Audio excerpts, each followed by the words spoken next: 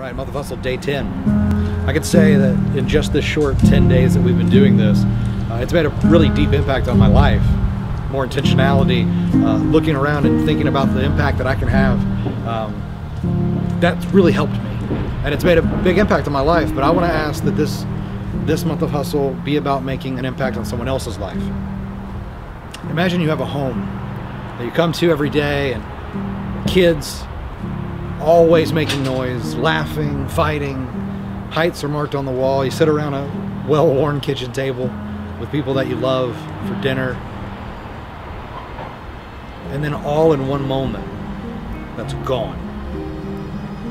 That's the reality for one of our own.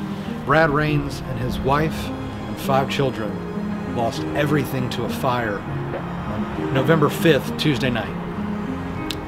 So I want to ask you to look in the description and help get them back on their feet.